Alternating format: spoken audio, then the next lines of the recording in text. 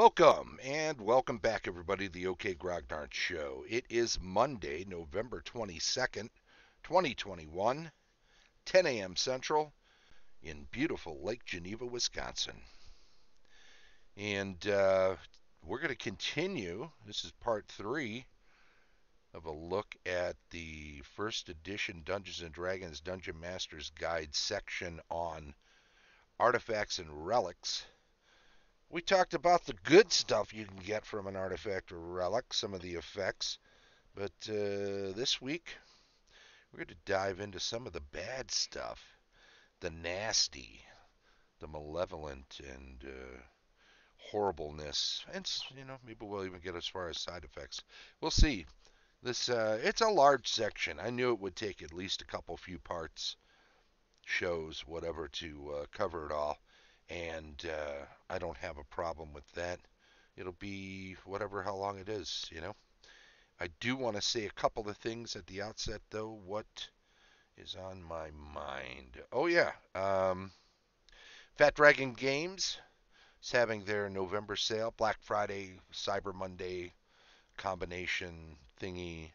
So go check them out. Everything except the newest, uh, most recent releases are included in the sale.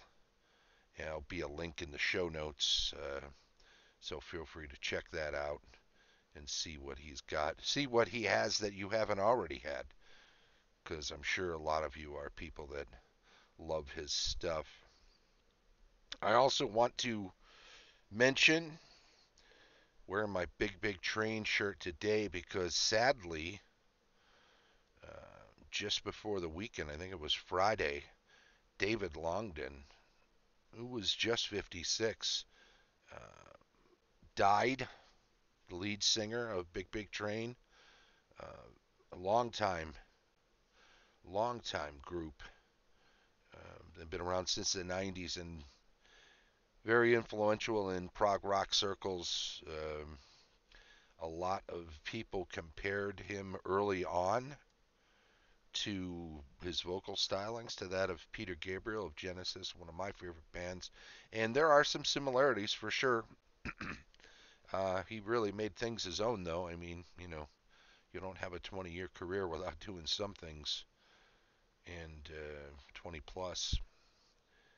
So my condolences to his friends and family, who I, I doubt are listening here, but it's worth mentioning uh, someone as uh, prolific as him in an area of music that I really love. Uh, my gaming has often been inspired by a, a lot of uh, lyrics from progressive rock music tunes, and there's no doubt that I listen to it a lot while I'm creating and while I'm just enjoying myself. So there's that to be said about that type of music and how it has influenced me. But let's move on with the uh, the uh, artifacts and uh, relics part three section here. What do we got here? I'm gonna have to pop this up on my screen too. Major malevolent effects. I I want to say, did we do minor? This is four.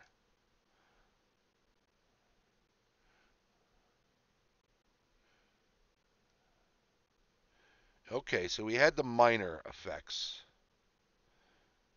This is the major ones. This is part four, and then I think there's a five and a six with uh, some benefit and then uh, some side effects uh, or how it changes you. But we'll stick with this for now.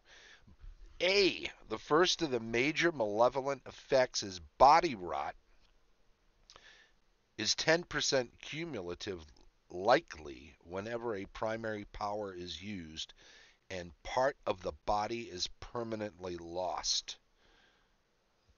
That is, uh, an ear could come off. Oop, it looks like I froze. I think my vocals are still coming through. So uh, let me see what I can do. One second here. Let's let's do this so we can be officially experiencing difficulties. I'm going to have to be right back.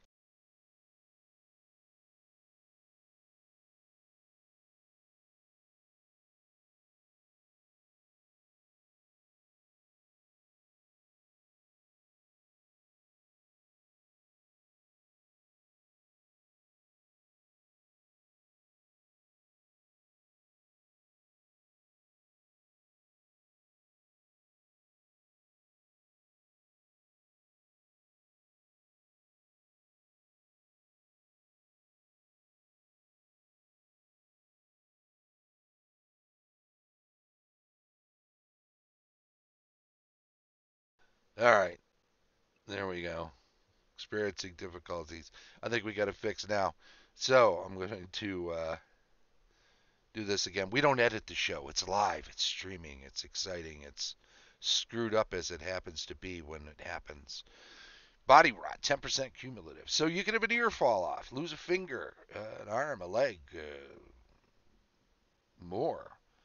And that just is the way it's going to be every time you use a primary power. B, capricious alignment change each time a primary power is used.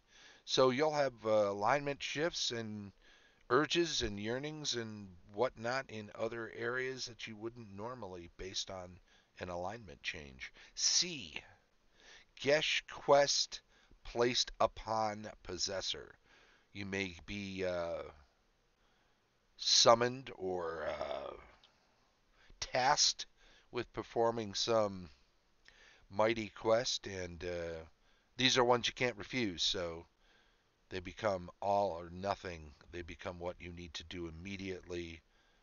Everything you live for has to be in furtherance of achieving those goals. So, oh, just going to put that off and go do something else is not an option.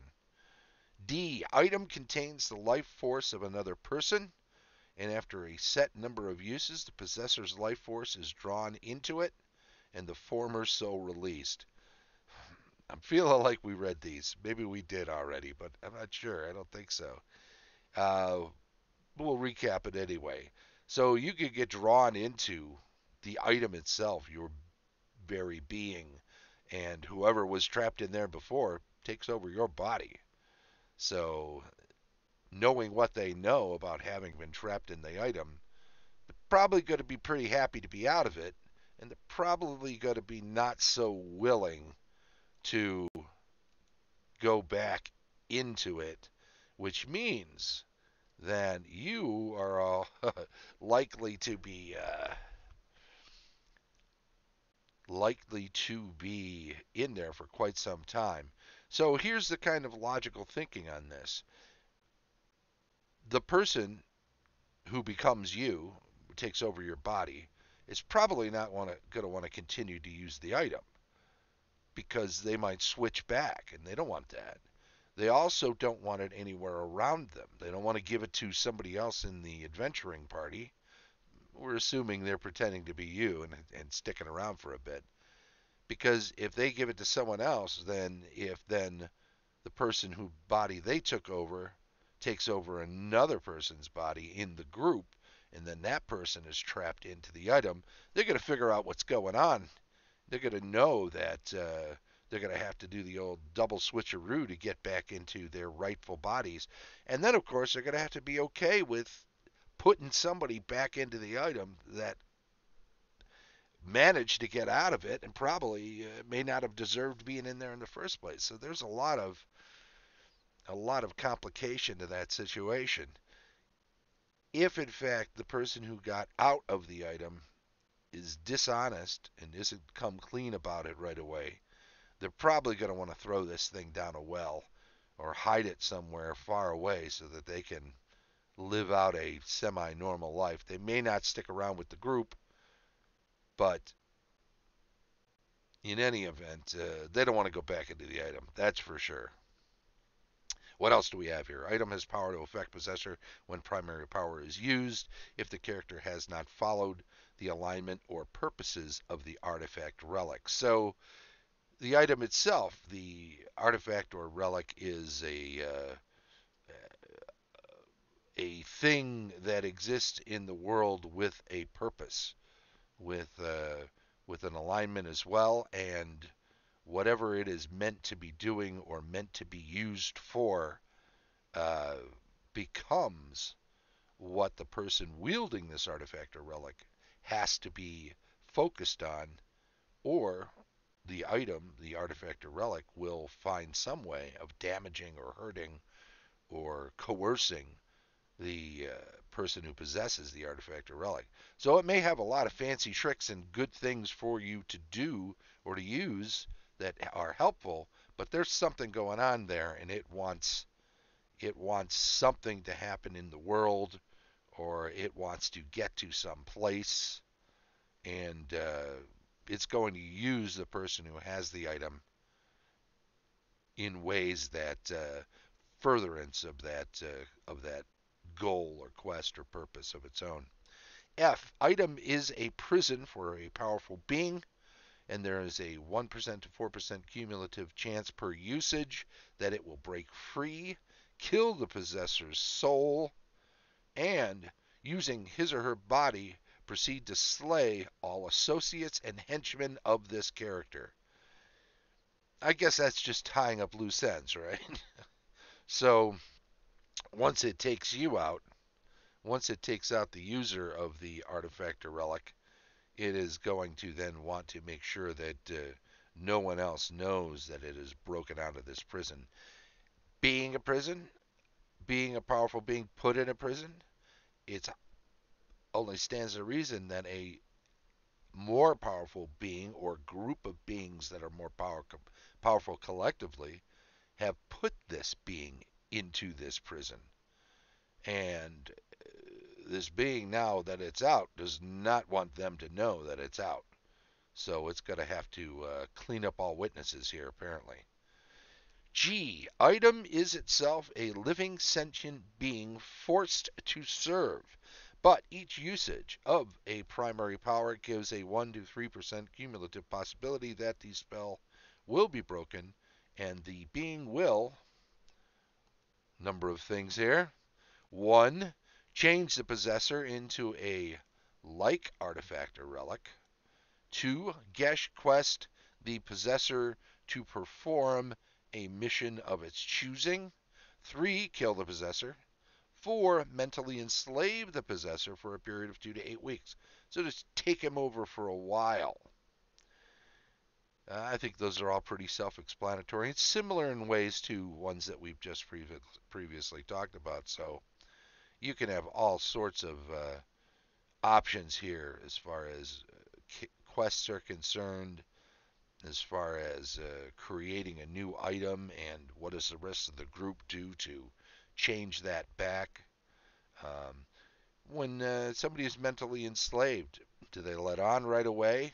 Do they find finagly ways of uh, getting certain agendas done and then knowing they have a period of time, or maybe they don't know they're on a clock. It's worth thinking about those things. H. Item is powerless against and hates 1 to 3 species of creatures, and when within 10 feet of any such creature, it forces the possessor to attack. Goblins, orcs, hobgoblins. Uh, something something similar. You want uh, maybe it's a uh, very malevolent item, an evil item, and it uh, tends to go into the hands of humans, but despises elves, dwarves, and halflings or gnomes or three different species, races that might actually be those of party members. So now there's uh, inter-party conflict. Maybe the item is so great the the player doesn't wish to give it up and will seek out a uh, kind of a xenophobic uh, humans only group to then uh, be part of, and well, we know where that's going. I, item, releases a gas which renders all creatures, including wielder, within 20 feet powerless to move for 5 to 20 rounds. Well, we've all been there after a Thanksgiving meal. Not Thanksgiving. Hope everyone has a happy one. We'll see you after that. If you're in the U.S., Um, renders all creatures, including wielder. So, you know, somebody could just walk up and pick up the item and walk off with it and rob you entirely. They don't know how long you're out, so they only grab what they see as the best items right away. You never know. And this is uh, these are things that happen when you use the item. So you are probably in a situation where there are enemies about and you go to use this item and then poof within 20 feet everybody everybody goes unconscious or powerless and uh, you're at the uh, you're at the mercy of your enemies. J, lose one point of charisma. Constitution for K, dexterity for L, we lose one point of hit points permanently. For M, intelligence N, strength O, wisdom P. So there's seven quick items that are all potentially devastating to a character that is crafted for maximizing whichever of those abilities. If it hits you in an ability score that you don't really uh, focus on as a uh, character, might not be so bad, but the next time you use it, boom. What if it hits you in your primary, your prime requisite? What if you keep getting hit with hit points every time? Um, it is possible for there to be more than one of these uh, malevolent uh, things to happen every time you use the item. It is possible that it's just going to be one. Let's say it's your dexterity. Boom, lose the dexterity. Use the item again. There's a chance. Or maybe it's automatic. Boom, dexterity. Boom, dexterity. Suddenly, you're several points down and you're having trouble uh, just walking across a room without tripping on something or banging a knee or all sorts of dangerous things can happen to somebody. But do you give up the item? Maybe the item's so good that it's worth the loss or potential loss if that's all it is. Anyway, you get the idea. If it doesn't happen repeatedly and it doesn't happen all of the time, maybe you take the chance. Let's move on to Q Magic Drain from the most powerful magic item other than the artifact or relic within 20 feet of a user. Who wants who wants to keep this guy around when suddenly my plus three Vorpal sword or whatever I happen to have suddenly is not magical anymore? Do I really want to travel with a guy who's using an item that could drain my magic items of any power whatsoever? Can we convince him to leave that aside or for us to go bury it without using it anymore. Reverse alignment permanently is the next one. That's nasty. Sacrifice a certain animal to activate item for one day. Oh, so every morning you have to uh, step on an ant. What is the uh, requirement here? Do we have to kill puppies? Are we uh, sacrificing a goat or a lamb? Or a calf or a bull? How powerful is the item? What sort of uh, what sort of power is it? Is there a way of linking the type of animal to the power that the item gives? Worth uh, considering tying things together. If it's an item that uh, bestows a certain amount of strength, maybe a bull is a good a um, thematic sacrifice. Next one, this one gets tricky. Sacrifice a human or player character to activate item for a day. Now I have to wonder if there's an instruction manual sitting alongside this thing and exactly how a player character, how a player through his player character convinces the rest of the group that this is something we can do.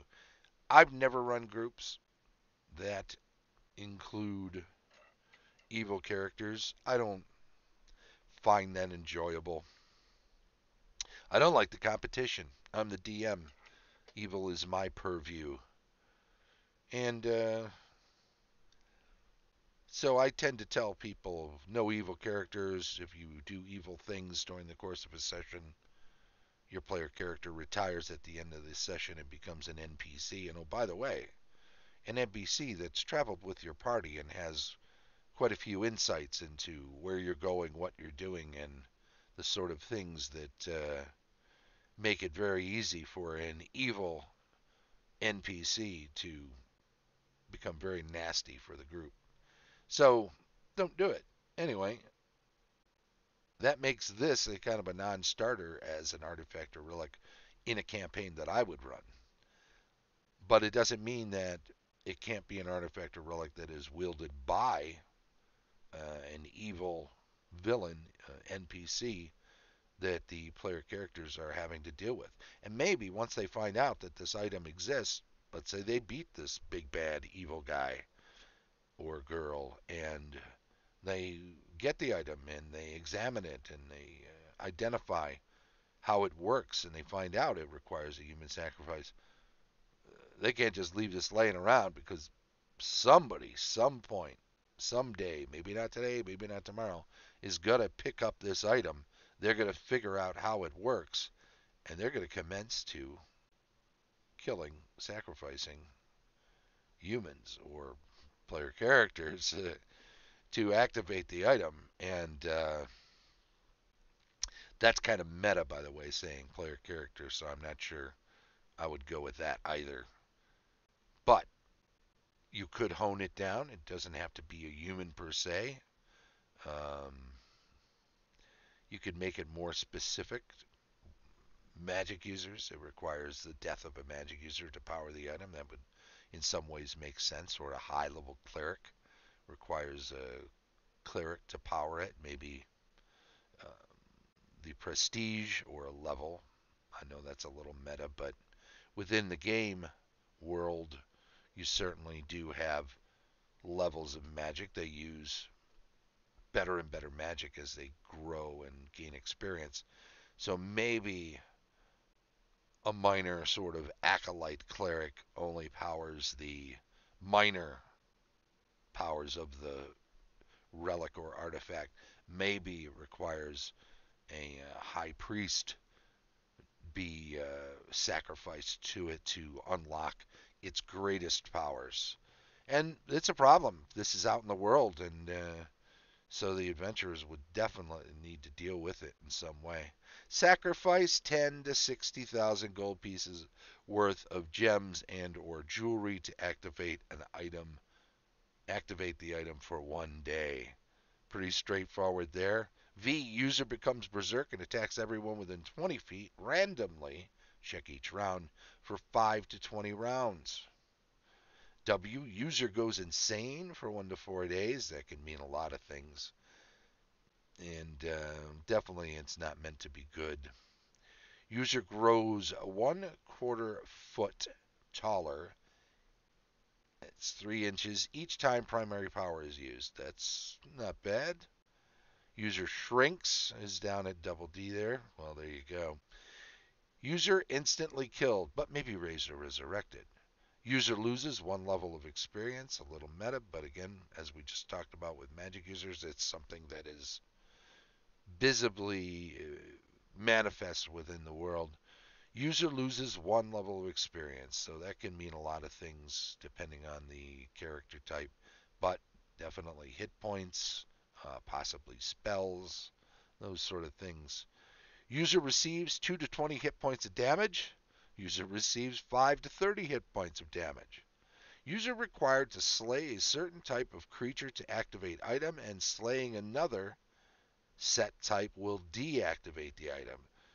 So that assumes that there is some power that is continuous that you would want to turn off at some point.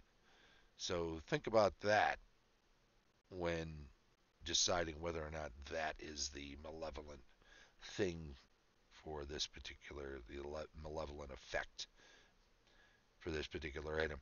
User shrinks one quarter foot each time primary power is used. That's DD. EE is user transformed into a very powerful but minor being from another plane, demon, devil, godling, by creator of item and is carried off to serve his new master. Start a new character. Meta, meta, meta, but sure, why not? FF. User withers and ages 3 to 30 years each time primary power is used, eventually turning the possessor into a deathless, withered zombie guardian of the item. Nasty. I guess you start a new character after that as well, unless you want a very narrow focus campaign. GG, utterance of a spell causes complete loss of voice for one day. HH, yearning to be worshipped is uncontrollable. Those failing to bow and scrape to the artifact's possessor will be subject to instant attack. Well, that's pretty nasty. I can see that happening in a group where the attacks just begin immediately. No, I'm not going to. Bam! Okay. Notes regarding malevolent effects. Malevolent powers operate whenever a major or primary power of the artifact or relic is used unless operation occurs after a predetermined but low number of uneventful usages of a major or primary power as stated above on the item description or table. Effects can be successive and cumulative. Body rot effects, extremities, toes, fingers, ears, nose, lips, eyelids, hands, feet, arms, legs, head in that order. One member per operation. Nothing can prevent the loss or restore the member. So we're not even going to allow a wish to do that. Somebody wants to give up a wish to get a finger back. I may let that happen in a campaign I run just because a wish is meant to be a very powerful thing, and artifacts and relics, I think of them as on the same level. The Geas or quest fulfillment enables the possessor to act freely until primary power use once again operates this power. So you can ignore it, but boom, you try to use this item again and you haven't furthered your fulfillment of the quest, then bad things going to happen. Life force freeing and associated entrapment of the possessor's soul will likewise free the life force of a player character and restore his or her body if when another character so uses the item. Hmm, that's interesting. I think we'd have to do that a number of ways. I think you I think, as I described earlier, you wind up in the new person's body, and then they're in the thing. Somebody else uses it.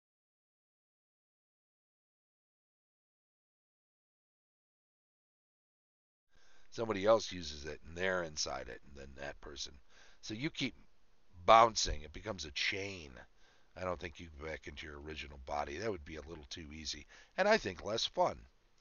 Where creature types are called for, select powerful type which would be logically connected to the item, usually foes of its creator or alignment or purpose. Aging 3 to 30 years is done by race life expectancy. Ah, 3 years for half orcs, 4 years for humans, 7 years for halflings. So it kind of uh, makes it significant no matter what species you are. It says the aging cannot be reversed. We'll come back next time, I think, and uh, do the table five primary powers, and that'll be a fun thing to do for sure. So, I just want to thank everybody uh, for checking out the show. If you did, thanks for joining us on the stream. If you did that too, and thank you too if you wind up uh, checking us out on YouTube. The show streams live on Twitch each Monday at 10 a.m. or just thereafter, as it did today, and then is archived on YouTube. If you are checking out the show on Twitch, please do subscribe to the channel and then also chime in the chat so we know you're there. There's Sarah, thank you. And uh, If you're checking it out on YouTube, by all means, subscribe there and do please give us a thumbs up on any videos that you like and enjoy. And also uh, click the little bell thingy so that you are updated anytime we upload a new show, which is every week.